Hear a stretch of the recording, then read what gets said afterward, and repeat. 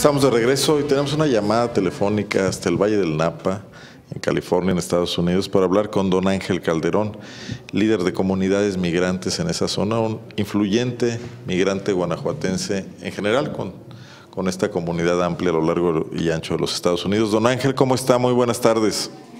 Muy bien, señor Arnoldo. Muy bien, por aquí este, con poquito frío y algo de lluvia. No, pues debe hacer mucho más. Y en León está haciendo frío, imagínese por allá. Sí, este, pues estamos en la, temporada ahorita. Oiga, yo lo interrumpo en sus actividades y le, le, quiero preguntar porque hemos tenido información. Ayer tuvimos una entrevista con Arcadio Delgado, quien es ya el presidente que concluye en, el, en este consejo del Instituto del Migrante Guanajuatense. Una nueva elección de miembros. Parece ser que no todo el mundo quedó contento con la forma y también con las, perso las personalidades que fueron elegidas en esta ocasión a un instituto que cumple dos años en Guanajuato y que su sentido de ser fundamental es pues, establecer contacto con ustedes, que son los que están allá viviendo esta realidad. ¿Qué me dice al respecto? Bueno, uh, dos cosas ahorita para empezar.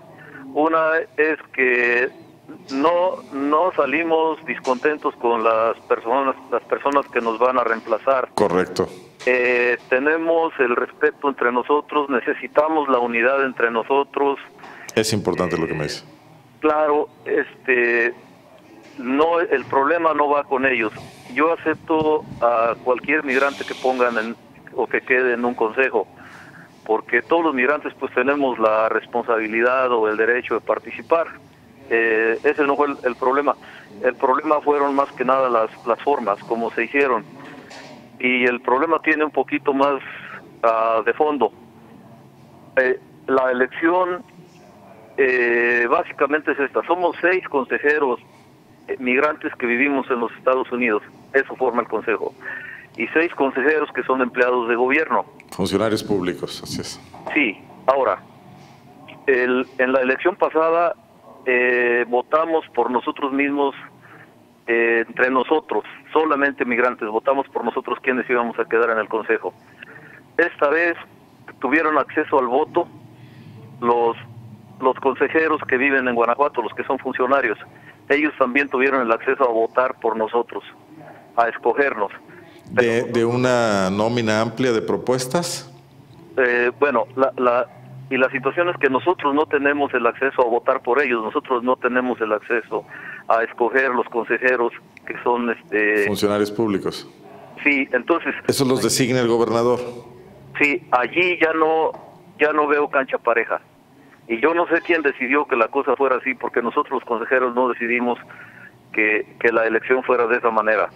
Por un lado, por otro lado, eh, nosotros éramos seis consejeros, pero por alguna razón al consejero estudiante migrante no le dieron el derecho a voto. Solamente Había una joven, una mujer que era estudiante. Una mujer. No, eh, bueno, eh, la mujer se reemplazó porque asistió nada más a, a la ceremonia de, de, inauguración y después ya no la vimos por ninguna parte, ya no se reportó, no dijo nada y se reemplazó por el señor Felipe eh, Ramos, me parece. Flores o Ramos, ahí estoy medio... es Felipe, déjeme ver. No se preocupe, nosotros lo, lo, lo checamos. Sí, entonces. Este, este muchacho es consejero, migrante, pero sin, sin derecho a voto. Allí ya, ya perdimos un, un voto nosotros. La otra situación fue que durante estos dos años de gestión, eh, como consejera migrante, la señora Verónica Toscano, eh, una de las propuestas de nosotros fue que se abriera una oficina de enlace en Atlanta. En Atlanta, Georgia. Sí, sí. y allí quedó Verónica Toscano como como eh, en la oficina de, de, de este de, de, enlace. ¿Ya como funcionaria pública, empleada del gobierno? Como funcionaria pública. Allí también se le, ya se le... Se ¿Siguió siendo consejera también ella? Sí, siguió siendo consejera. Eh, esto fue por un espacio como, por un periodo como de seis meses. Entonces ya no, ya vimos que era tarde para rele, para reemplazarla con otra persona, pero sí se le restringió el, el derecho a voto. Tenía voz, pero no voto. Ahora, eh, cuando cuando empezamos nosotros a votar estaba estaba transparencia ahí. Sí. Eh, la Secretaría de la Transparencia y Función Pública. Sí. emitimos nuestro voto a través de un documento, de un papel en donde estaban los nombres de, de los de los consejeros en, que habían solicitado ser parte del consejo. Eh, coincidimos el voto de los cuatro consejeros migrantes con los seis eh, consejeros funcionarios de gobierno coincidimos en dos personas, en Salvador Pedrosa y en Ángel Pacheco. ¿De dónde son ellos? Eh, eh, Salvador Pedrosa es de Chicago y Ángel Pacheco es, es de Arizona. Para integrarse al Consejo. Para integrarse al Consejo. En esos dos, ellos se llevaron 10 votos. Allí, ahí estuvimos de acuerdo. Después, el señor Simón Navarro se lleva seis votos, los seis de los consejeros de Guanajuato. Nosotros no votamos por él ninguno. ¿Simón Navarro de dónde? Eh, me parece que él es de, eh, de Oklahoma, me parece. Simón Navarro es del centro del país. Déjeme preguntarle por qué ustedes no votaron por él, no lo conocen, algún tipo de objeción. No, no votamos por él porque consideramos que allí en la región donde él está hay, hay menos concentración de guanajuatenses. Lo ideal es que se represente las regiones donde hay más guanajuatenses. Más guanajuatenses, correcto. Eh, la, la, siguiente persona fue eh, la maestra Antonia Gutiérrez del área de Los Ángeles, que, que se llevó los cuatro votos de nosotros solamente. ¿Y seis en contra? Eh, no, no votaron en contra, simplemente no se votó por ella. Correcto. Eh, ahora, Aarón Hernández, también de California, tomando en cuenta que era de California y también tratando de, de que se reemplazara a la, a la, señora Verónica Toscano con otra dama, decidimos votar por Antonia Gutiérrez y, y, y, al señor Aarón Hernández lo dejamos con cero votos. No, no, no agarró votos de eh, los consejeros de allá ni de los de acá tampoco. La siguiente persona fue Alicia Limón de Texas, se llevó los seis votos de, de los consejeros funcionarios. Ociel Hernández de Texas se llevó cuatro votos por parte de nosotros. Antonio Ramírez se llevó cero votos. Ese, ese señor era del área de Los Ángeles, pero se cambió a alguno de los estados de... ¿Y estos cuatro votos de ustedes eran suficientes para quedarse o eso lo eliminaba? No, no, los eliminaba. El, el siguiente consejero que eligieron los, las personas de Texas fue el señor Juan Centeno, de Texas también. Parte del disgusto fue también que no quedó ningún consejero de California, que es donde está la mayor concentración de guanajuatenses. Ahora, el, eh, de, de, inmediato nos dimos cuenta que los consejeros de, de Guanajuato traían ya la línea del, del de, de, votación. ¿Quién les daría esta línea? ¿El director del Instituto del Migrante, Luis Vargas, el sí. gobernador del estado? El, no, no fue el gobernador, fue, fue el don Luis. ¿Y qué se pretendía, qué analizan ustedes? ¿Tener un consejo a modo?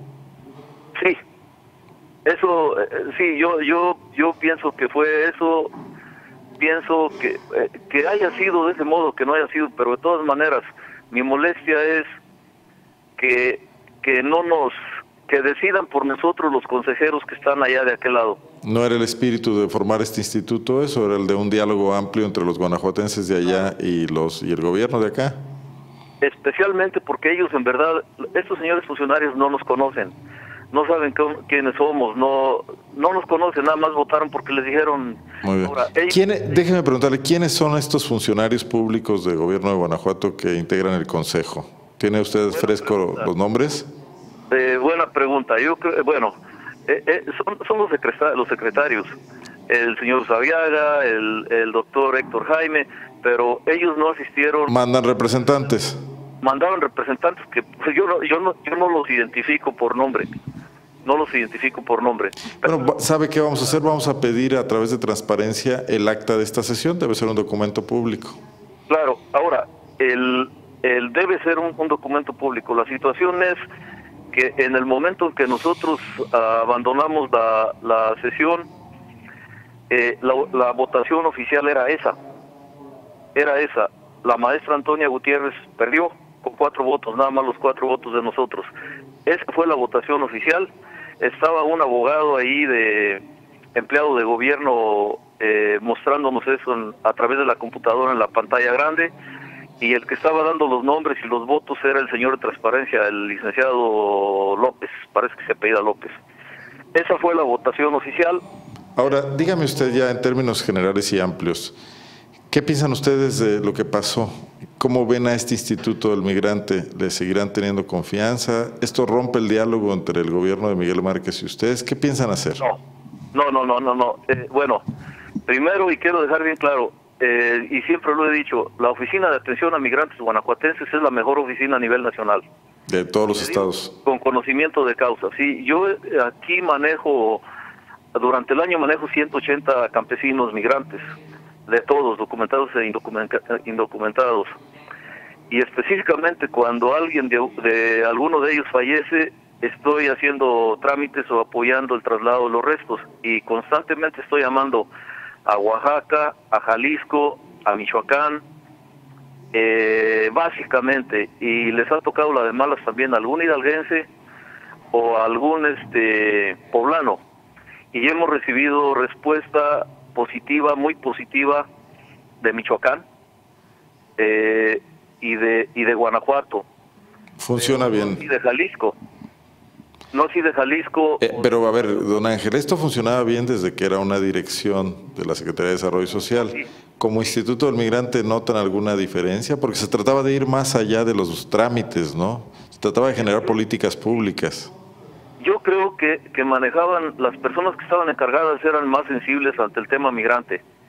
Eh, yo pienso que son características de las personas, de la persona que está ahorita ahí encargada, en este caso don Luis, a don Luis, con tristeza, Luis Vargas. sí, lo veo como una persona autoritaria, controladora, manipuladora y tristemente al último, lo último que vi de él en los medios es que está diciendo que la señora Antonia Gutiérrez es consejera. En verdad ella perdió. Yo no sé cómo le hizo para ponerla ahí de consejera, no sé si hicieron otra elección. Bueno, de hecho sé que no hubo otra elección. Don Ángel, ¿ustedes hablarán de esto con el gobernador Miguel Márquez? Vamos a hablar con él. Yo me reúno con, por, esta razón. Las, las, federaciones de migrantes del área de Los Ángeles estuvieron muy pendientes de nuestras actividades y del proceso. Y, y apenas, todavía, bueno, apenas acabábamos de abandonar la reunión cuando ya tenía llamadas en mi celular de los de, las personas aquí de las de los clubes de Los Ángeles preguntándome qué pasó, quién quedó, quién es nuestro nuestro representante ahora, ya los tenía ah, interesados en saber qué había pasado. Eh, entonces, ¿Puede haber peligro de que este entusiasmo se pierda? No, no, definitivamente no. Eh, Armando Solís, que es uno de los consejeros eh, salientes ahorita y que fue el primero en tomar la iniciativa de abandonar la reunión, sí declaró que él se retira de esto, de sus actividades comunitarias. Se va desilusionado, se va dolido, así lo expresó él me voy muy lastimado por esto que pasó. Ahora, ah, eh, yo no quiero que eso pase con otro líder migrante, porque es una pérdida grande. Es muy difícil reemplazar a una persona como Armando, que han donado su tiempo y su dinero y mucho trabajo en aras de su comunidad. Siento que es más fácil reemplazar a Luis Vargas, ¿no? Un puesto pagado dentro del gobierno, pues van a llegar claro. 50 solicitudes de volada, ¿no? Creo que además ya se va porque quiere ser candidato. Eh, pues, pues, ojalá, yo, yo le deseo muy buena suerte en, su nueva, en su nuevo proyecto, ¿no? Le deseo que quede, que quede allí especialmente para que no regrese al instituto. Muy bien. El instituto necesita otro, otro tipo de personas al frente. Don Ángel, me quedo con esto muy claramente. Vamos a, este video además a hacer una nota informativa para el portal de Zona Franca y le pido que nos mantengamos en contacto para ver cómo evoluciona este tema. Seguramente habrá cambios pronto en el Instituto del Migrante, puede ser por circunstancias electorales. Pero con todo el alma. Yo, yo estoy en contacto con usted. No sé si se le quede algo que todavía quiera decir.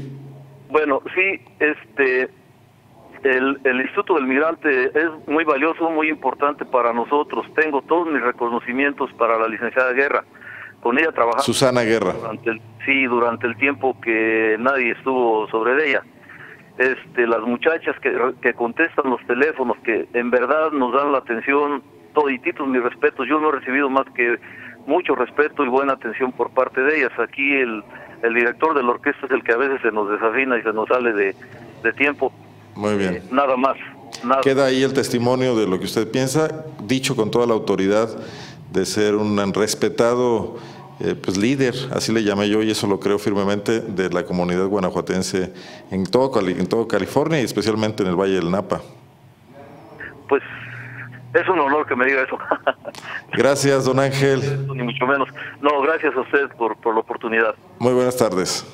Saludos. Desde California, ahí en Napa Valley, don Ángel Calderón, originario de Yuriria, del rancho del Timbinar, quien ha construido ahí una comunidad importante de guanajuatenses muy productiva en, el trabajo agrícola, sobre todo en la región vitivinícola de California. Puede ser una pausa, regresamos, continuamos.